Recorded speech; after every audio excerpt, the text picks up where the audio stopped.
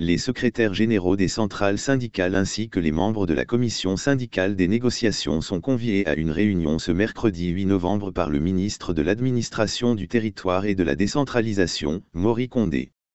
En effet, l'information est confirmée par Abdoulaye Sow, secrétaire général de l'Union syndicale des travailleurs de Guinée. Il faut par ailleurs rappeler que cette invitation fait suite au préavis de grève générale illimitée que le mouvement syndical guinéen a déposé un préavis ce mardi sur la table du gouvernement après l'échec des négociations tripartites entre syndicats État patronat.